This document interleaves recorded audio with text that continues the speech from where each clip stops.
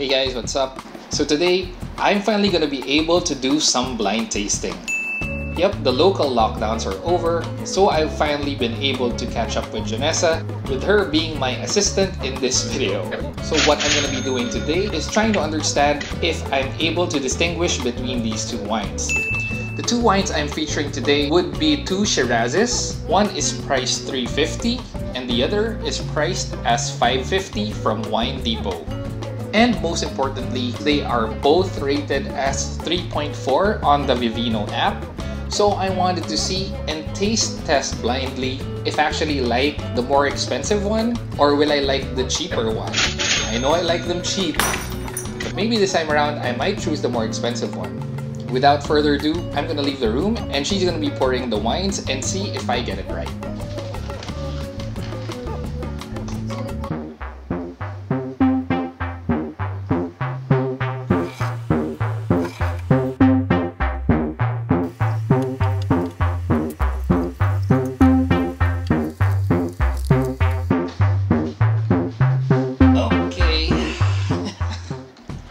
Lovely to shoot over lunchtime. Let's get some day drunkenness now. Oh, right and left. Okay. You're right and left. Okay. Yeah. what do you mean? Let's start with the one on my right. Ooh, okay. Already I taste a bit of difference. I could tell the difference, but I don't know which is which. The right one seems a lot more gentle, a bit fruitier, a little more sour, a little bit more acidic. I'm smelling the vanilla from the right one.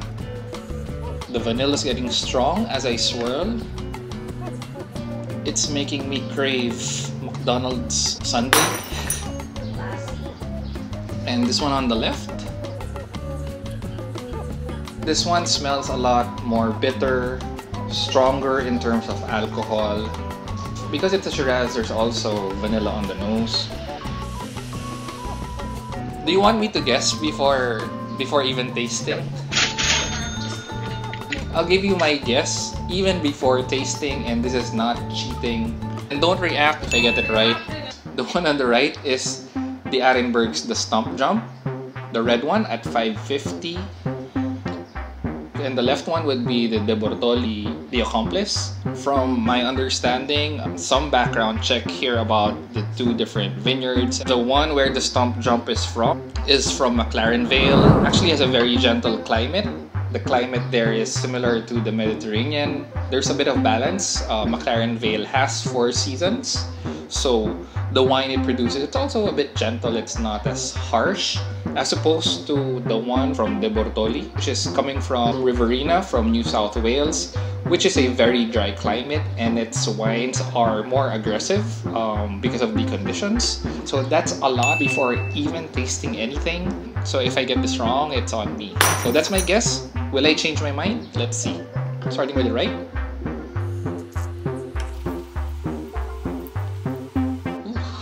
That's a spicy finish. Yeah, that threw me off a little. It is gentle, gentle on the nose. Let's try one more. Very spicy, especially if you let it linger in your mouth. It's not a bitter Shiraz. So far, I still think this is the one from McLaren Vale. I'm quite confused, guys, in as much as the left one was more bitter on the nose. It's actually sweeter, so I'm not sure which is more gentle.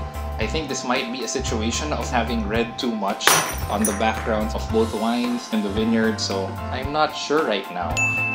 What do you think, babe?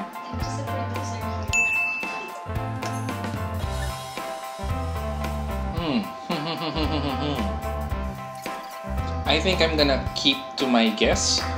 In as much as this can have a spicy finish, I would stick to my initial observation. It's a gentle Shiraz. This one, I may have mistook being sweet as, as gentle, but I think that's not the case.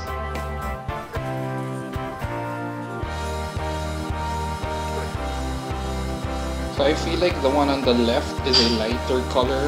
The one on the right is more maroon-ish. So, time to decide guys. I don't know. this is my guess, the one on the right. Like I said earlier, the stump jump from d'Arenberg, from McLaren Vale, from South Australia. And the one on the left would be the accomplice, De Bortoli, from Riverina, New South Wales. So, can we have the verdict in? So, what is this? Here you go. Okay, so this one, the big reveal. Yes! I got it right. I got it right. So, You have a mini heart attack. yeah, I was so afraid to fail. Okay. Was this how I lined it up earlier? I think this was how it was lined up earlier, but it's not. I didn't change it. I left the room. Um, you have to trust us here, guys. Stump Jump is a gentle Shiraz. I feel like it has complex flavors. It's not as outward or aggressively spicy as a lot of Australian Shirazes would be. I think the Accomplice is a little tad bit sweeter than I would have hoped. They are both rated 3.4. Both of these, I'm gonna give a 7.5 right now. Um, for both 7.5, you might consider the the Accomplice if you're working on a budget. It's not so much a master sommelier, master of wine type of environment where I, I completely guessed it. I mean, I had a lot of factors down. Maybe next time we'll be doing this in a more blind setting scenario um, wherein I won't know too much. But for now, I'm gonna take my wins. And cheers, everybody! Thanks for joining me for a drink again today. And if you've liked this video, please don't forget to comment, like, and consider subscribing. And see you again next time. Cheers!